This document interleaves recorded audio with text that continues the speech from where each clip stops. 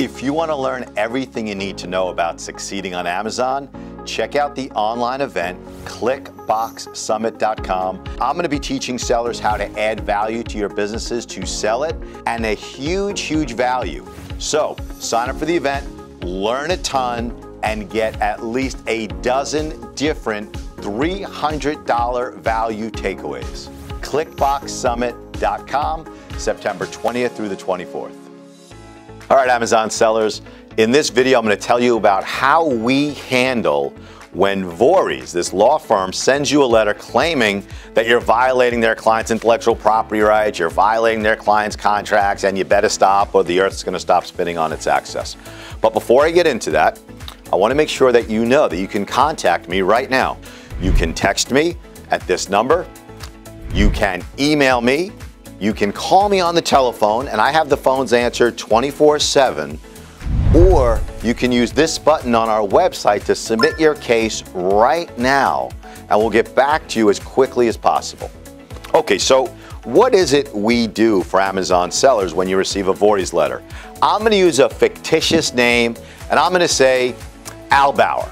So let's say Al Bauer is a seller on Amazon and he receives one of these Vorys letters that claims counterfeit, a warranty, a trademark, blah, blah, blah, blah, blah.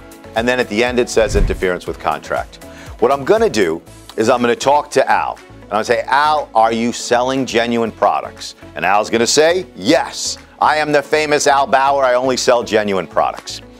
And then we're going to do an analysis of the warranty and the claims that Vorys asserted against you.